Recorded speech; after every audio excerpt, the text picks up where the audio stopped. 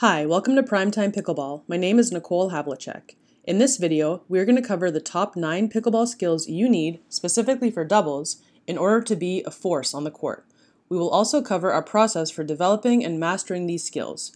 We know our process works because we use it ourselves and have used it with many of our students with great results. The skills needed for doubles pickleball mastery are number 1, dinking and dink volleys. Number 2, attacking from the non-volley zone line. Number 3, resetting and blocking from the non-volley zone line. Number 4, baseline skills, which include ground strokes such as flat drives, topspin dipping drives, and underspin, also referred to as slicing, and of course also dropping. Number 5, transition zone skills, which include drop volleys, drop half volleys, driving volleys, as well as driving, dropping, and rolling approach ground strokes. Number 6, serving. Number 7, returning. Number 8, lobs. Number 9, overheads. We have developed a double skills mastery program that covers every one of these skills. Some of these game based drills cover one or two of these skills in depth, while others cover many at once.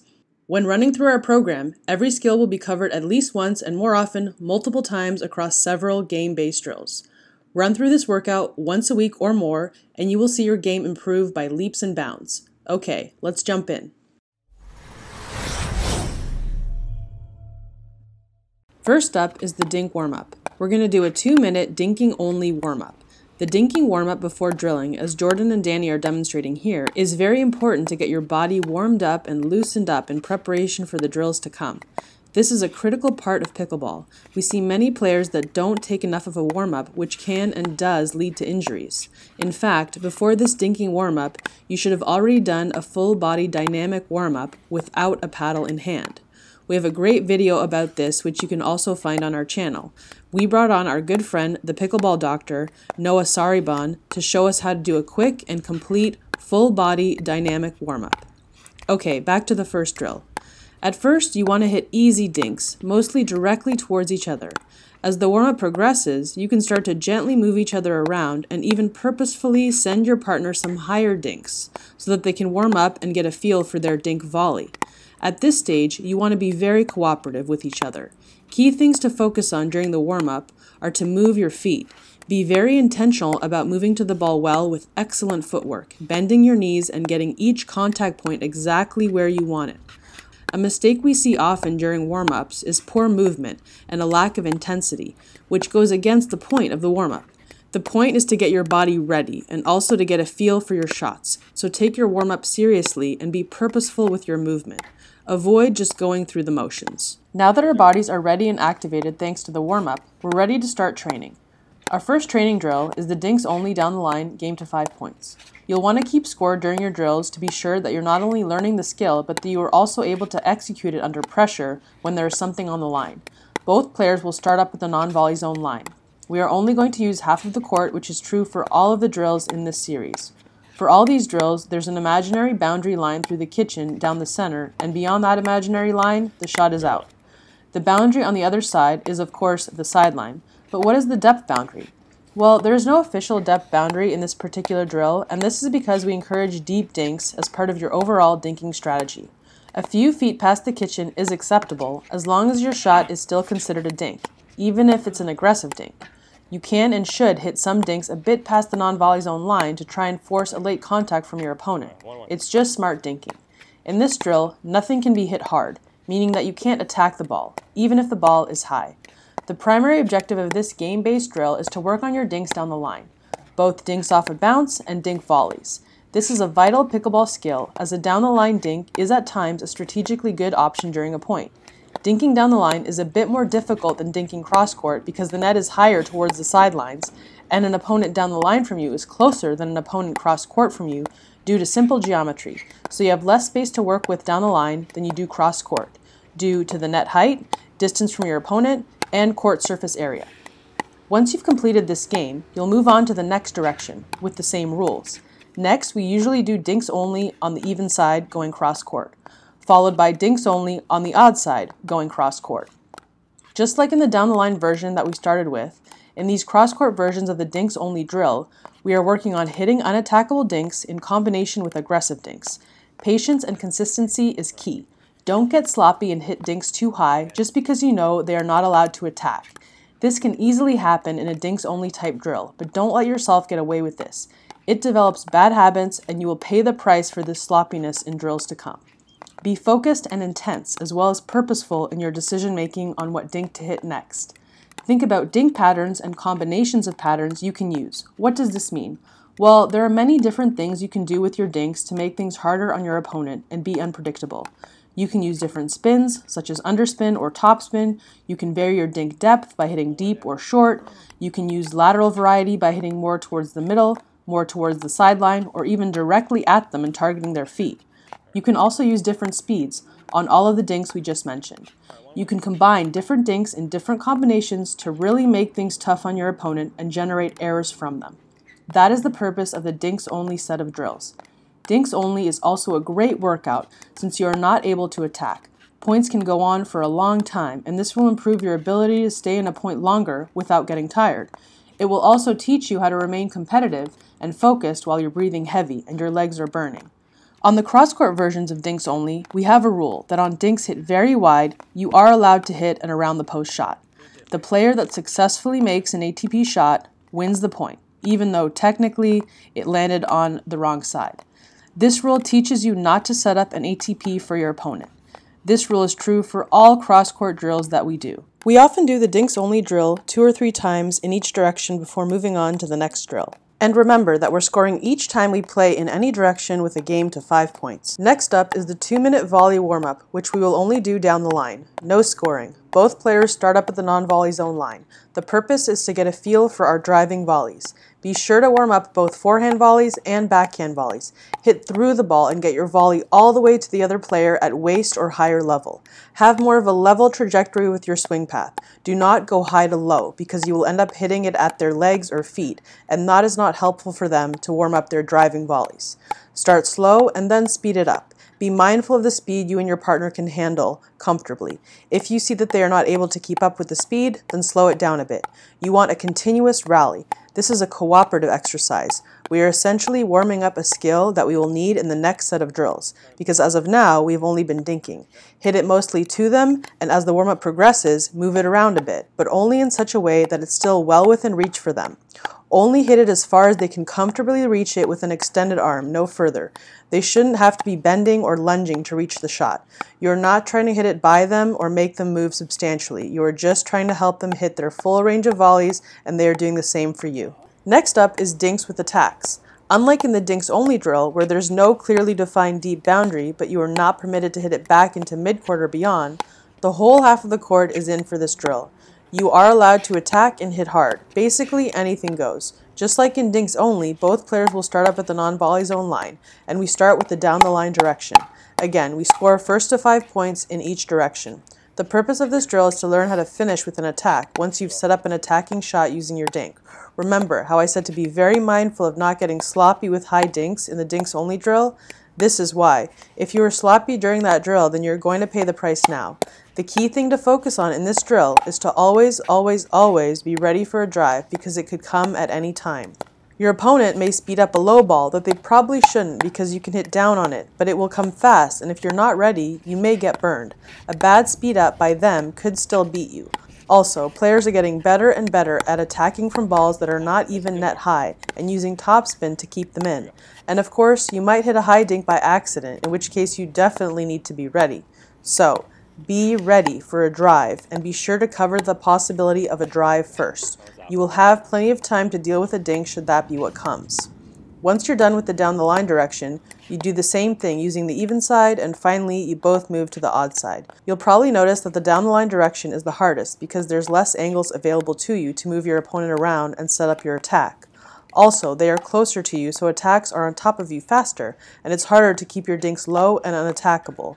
The same is true for them. If you can master this drill down the line, then the cross-court variations should seem much easier to you. However, if you have one side that is substantially weaker than the other side, for example, let's say your backhand is weaker than your forehand, then your opponent will have an easier time finding your weakness in the cross-court variations. Do not avoid your weaknesses when doing these drills. Work your weaknesses, even if it's at the expense of losing the drill. That's the whole point of drilling, to shore up your game. Don't win the battle, just to lose the war. Next up is third shot drops. One player starts at the baseline and one player starts at the non-volley zone line. The player that starts up at the non-volley zone line must hit everything deep for the entire drill. They cannot hit drop shots or short shots. The back player cannot come up to the net. They must stay back and attempt to win the point from there, even though it will be tough. Because each player has a different role in this drill, you will play it twice in each direction, so that each player can have the opportunity to play each role. We will start with the down the line direction, followed by the even side, and finally the odd side. Remember, you're doing each direction twice, so you will play a game to five six times for this set of drills. The back player is practicing their drops, and the up player is practicing closing at the point and keeping everything deep. We tend to refer to this as the third shot drop drill, but it's really just a drop drill. As pickleball is evolving, you often have to hit multiple drops beyond the third shot drop in order to earn yourself the chance to advance to the non-volley zone line. You have to win the line, so to speak, and this drill will help you to hone that skill. You can also drive it if you are not in good position to hit a drop. You are always seeking to hit a drop, but sometimes it's just not wise if you are not well set up or if they hit a really good shot that you are hustling just to get to. In a real game, you would be advancing to the net following a good drop, but in this drill, you will stay back regardless of the quality of your drop. We still tend to score this game to 5, however the back person is at a significant disadvantage, so don't be surprised if the back person is almost always losing this game when two players are of equal skill. The player at the line has the high ground, so to speak, and they are in a more advantageous position from which to win the point because they can be attacking, and the back person is neutralizing or defending. As the back player, if you are staying in the point and the points are very long, then this is excellent, even if you ultimately end up losing the point. That is to be expected. Of course, the goal is to win, but it's important to understand that you are at a significant disadvantage from the start. So if you are making long points out of it, then that is a win, even if you don't ultimately end up winning on the scoreboard. Next up is the transition zone drill. One player starts at midcourt and one player starts at the non-volley zone line. Just like in the third shot drop drill, because each player has a different role in this drill, then you will play it twice in each direction, so that each player can have the opportunity to play each role. We will start with the down the line direction, followed by the even side, and finally the odd side. Remember, you're doing each direction twice, so you will play a game to five six times for this drill. The up player is targeting the back player's feet and really trying to hit them in the shoelaces or slightly to the left or right of that for the most part, but they can try to put it away if they choose. The back player is trying to drop it into the kitchen and neutralize the point. The back player is working on their defensive skills. If they get a high ball, they can hit an attacking shot, but they are not permitted to advance to the kitchen after any shot. They must simply continue to dig and grind and get these balls back in play and keep them as unattackable as possible. Just like the drop drill immediately preceding this, the back player is at a significant disadvantage and your goal is to keep these points going for as long as you possibly can. Of course, go for the scoreboard win, but it is an uphill battle against an evenly matched opponent. Remember, it's about developing the skill, not winning the scoreboard in these drills. Do your absolute best and don't be discouraged if you often find yourself on the losing end of this drill as the back player. Certainly, try to win, but don't get too frustrated if you don't. Now, the transition zone gets a bad rap because we also tend to interchangeably call it no man's land. Players get the impression that you should never be in this area, and that just isn't true. It's true that you don't want to be here for long, but good players know how to successfully navigate this area and aren't afraid to hit a shot or a few shots from here as they work their way up to the net from the baseline where they started the point, or they may have been pushed off the line and have to defend from here and try to hit a neutralizing shot so that they can then use it to get back up to the non-volley zone line. Being able to hit drops, drop volleys, and drop half volleys from this area is an important skill to learn and master.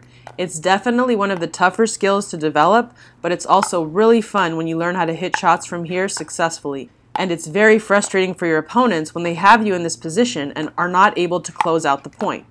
If you're a 4-5 or above player, then you definitely need to start getting comfortable in this admittedly uncomfortable area of the court. And this drill is a great way to do that. Next up is the modified skinny singles drill. One player starts at the baseline and one player starts at the non-volley zone line. Just like in the third shot drop and transition zone drills, because each player has a different role in this drill, then you will play it twice in each direction so that each player can have the opportunity to play each role. We will start with the down the line direction, followed by the even side, and finally the odd side. Remember, you're doing each direction twice, so you will play a game to 5 six times for this drill. Before we get into the drill specifics, I'd like to point out that over the course of this particular drill in our series, the wind began to pick up on Jordan and Danny, so the points were not as long as you might normally expect due to the increasingly difficult conditions. It's important to note that practicing in adverse conditions, such as higher winds and having the sun in your eyes, is great practice. You will certainly come up against tough conditions during tournament and other competitive play. I have personally learned to love playing in the wind, though that was not always so. Since I have embraced it and learned to work with it instead of against it, that has given me a competitive advantage on windy days. Okay, back to the drill specifics. The up player always feeds the ball to start the point in this drill, and they feed it as deep as possible. For the first time in this drill workout, the baseline player is allowed and encouraged to come up to the net as soon as they can. To this end, they are attempting to come in behind a good drop, but they are free to drive the ball if they choose. This drill integrates the third shot and transition zone drills we worked on previously, along with the dinks plus attacks from earlier in the drill set. As you may be starting to see, our drills build upon the next in terms of the skills you need to play a point, but in reverse.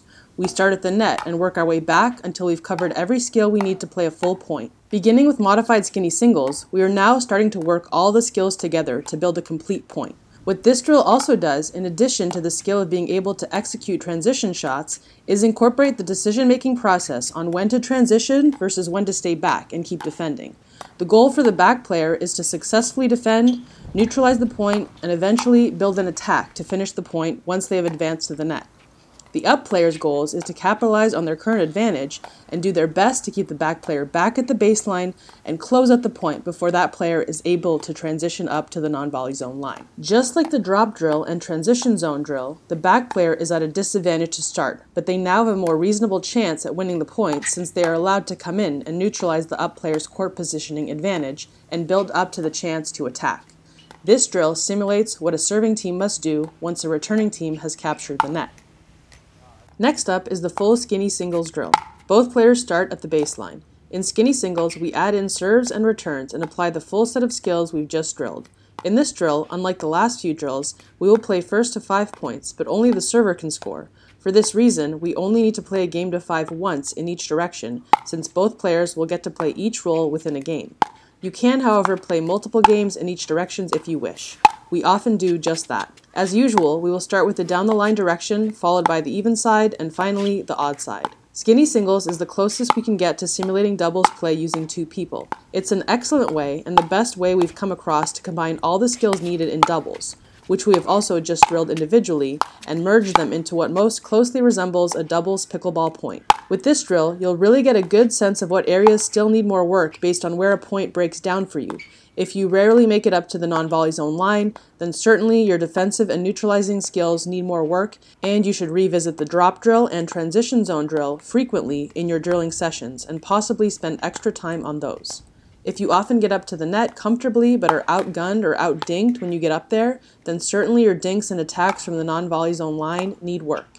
And you should spend extra time on the dinks only and dinks plus attacks drills in your upcoming drilling sessions. If you find you're quite solid from all locations and with all the skills, then that's fantastic. You are probably a 4.5 or above player. However, the drilling doesn't stop for you, because the best way to keep a skill once you have it is to drill it. The bottom line is that drilling never stops, and it's always easy to keep drilling fun when you make points out of it, as we've shown here. For an outline of our complete set of pickleball skills drills workout that we've covered here, so that you can print it out and bring it to the court with you, please check the description below. We hope that you have found this video and this drills workout helpful. We know these drills are proven to work because we use them ourselves and have used them with our students to make big leaps in our own play and theirs as well. Please give this video a like if you found it helpful. Also, share it with friends and comment below. We'd love to hear your thoughts.